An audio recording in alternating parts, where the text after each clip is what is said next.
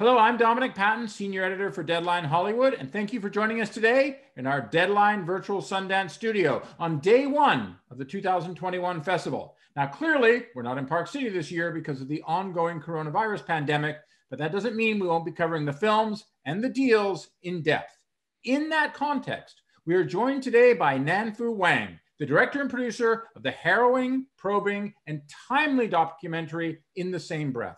A Sundance alum and winner with 2019's One Child Nation, Nanfu's latest film is an examination of the rise of the pandemic in China literally a year ago, its toll and path around the world, especially to an unprepared America. In the same breath, will debut on HBO later this year and debuts today at Sundance at 6 p.m. Mountain Time, 5 p.m. Pacific. Nanfu, thank you so much for joining us. Thank you for having me. But I, I don't want to give any spoilers away. Obviously, it's a documentary. It's dealing with the COVID 19. So clearly, a lot of people understand the stakes involved here. I mean, just as, as of today, I think we're looking at uh, over 425,000 deaths here in the United States, over 25 million cases, over uh, millions and millions of deaths, almost two and a half million around the world. This film starts on New Year's Day 2020. And you weave the personal and the political here. I wanted to get a sense why did you decide to do a film like this now? I didn't plan to do it. Um, it happened. And I started thinking about it. Um, I just couldn't stop thinking about it. Uh, actually, exactly a year ago at Sundance in January, um, I was um, attending the Sundance Film Festival last year. And I went to China um, in January and left my son there with my family so he could spend the New Year the Chinese New Year with them. And then I came back to the US and I landed in Utah on January 23rd, the same day the Wuhan's outbreak, that the lockdown happened. So here I was in Sundance going to films and staying at the hotel. And in the meantime, I knew that my family was in China and we lived um, 200 miles away from Wuhan. And my son, who was three year old, was there. And the rumors came out like my city was going to be locked down as well. And then I started looking for information, how serious was this virus? How serious was the outbreak? And you know, the Chinese government was telling people, don't worry, it's okay, everything was contained. And at the same time, well, in fact, you, you point out in the film, and I found this very interesting, the very first mention of the pandemic in China, which was actually on New Year's Day 2020, was that eight people had been arrested for spreading false rumors about a pandemic. And I found it, having seen the whole film now, which by the way, I recommend everybody do now or on HBO uh, when you get the chance. It's so prophetic of both how the American and Chinese government dealt with this. Yeah, it was January 1st. That was the first warning from the doctors who had already seen patients being infected, who themselves were infected. And but the news was buried. Um, the people who sounded the alarm were arrested so nobody really paid close attention. And I certainly didn't at the time. That was why I even took my son to China and dropped, left him there with my family. So anyway, all of this happened. And uh, as I discovered more and more of the cover-ups and the things that the government didn't allow people to know, uh, it compelled me to, to make this film, to show people um, the reality that they didn't get to see themselves. One thing that you, you do in the film is obviously you made this film, for lack of a better expression, remotely, um, as has become the reality for so many of us during this terrible, terrible pandemic. You brought on free, freelance camera people uh, all throughout China, many of whom got, at least in the early days, almost unprecedented access to hospitals, some of whom literally took what you said quite literal when you told them to keep the camera on something. There's a one scene, again, no spoilers, but there's a very long scene involving a foot that goes on a long time. Um, how was that for you as a director? Because clearly that's very different than the way you've worked before, utilizing that footage, that that those camera people, and then the footage. How did you help? How did you put it together?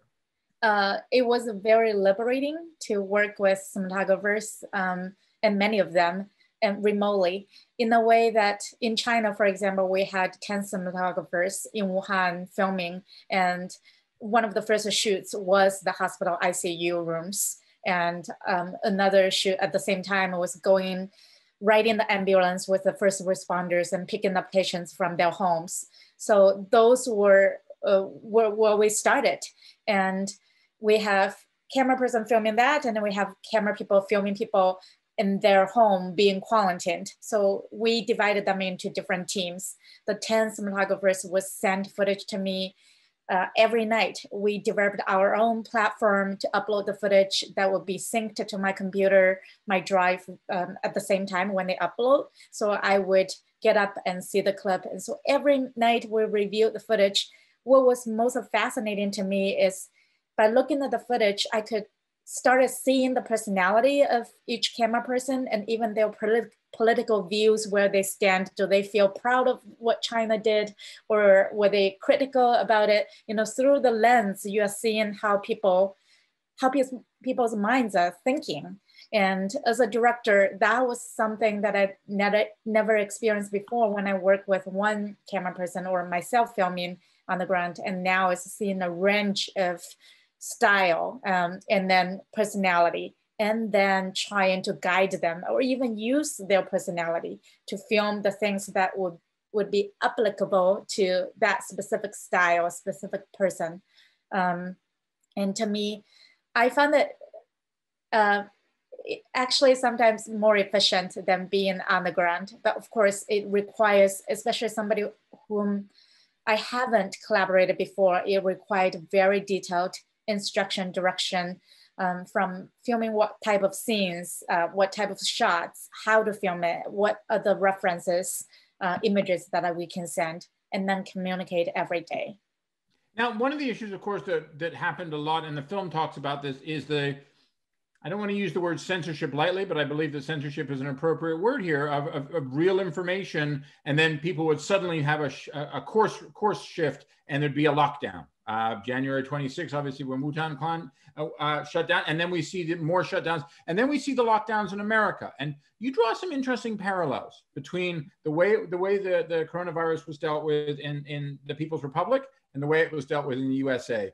What led you to, to, to, to to develop that as a through line for the documentary because it's a very different way of looking at this one that maybe some people in america and maybe some people in china won't like that much absolutely i think the people in two countries tend to believe that we are very different and um, depending on where they get um, their worldview like what information they get and how their worldview was formed they could each be patriotic and thinking that this is the best and the other way is different. And we have been seeing during this pandemic, the two countries, um, people, you know, kind of doing that, like talking against the other, the other country.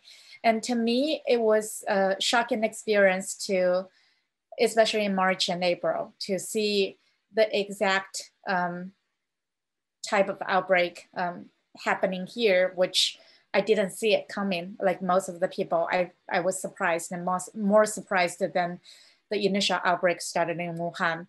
And it was a confusing experience to me um, to try to make sense of what's going on here and why is it happening here and why it happened this way. And it was those questions that drove me um, and drove this film to the direction that we are seeing now. So when I started in January to making this film, I thought the film was going to be just about China. And the more I saw what happened in the US, um, I had more questions.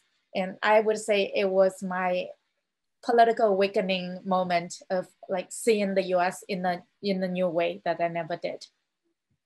Um, you, you have uh, over your career done a number of examinations of Chinese, modern Chinese life, the role of the government in, in China. One of the elements you utilize quite deftly in this film is media. Um, you actually at points create a wall of media where clearly everyone is delivering the same message over and over again. How do you think this film will be received by people who do get an opportunity to see it in China? Um, by the way, apologize, that was my son screaming there. That's okay. He makes a cameo in the film as well. So we might as well make a cameo in our interview. Yeah. Um, I I do hope, and then I think it will be really important um, for people in China to see the film. And I would make an effort and try, hopefully that will happen, um, although it would be very difficult.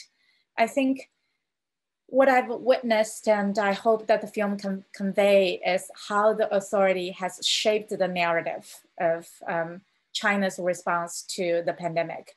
And people in China, they now formed this memory um, that this is how it happened and this is how China handled it. And this memory is not something that they witnessed and remembered. It's more so shaped by the information they consumed, um, TV, newspaper, and social media, the information that's what that was allowed to present to them. So what really struck me is I felt I had seen the history being written in real time. And, and this is the version of the history that the Chinese people will remember. And I really hope that by seeing the film, they will realize and be more conscious and aware of how the history was written and by whom. Um, so um, that, that would be my hope. Well, I hope as many people as possible see this film uh, either at Sundance uh, when it debuts later today or in its other screenings or on HBO later this year. Nanfu, thank you so much for joining us. Thank you. And thank you everyone for joining us. We'll be back throughout the entire festival with more from our Deadline Virtual Sundance studio. I'm Dominic Patten. See you later.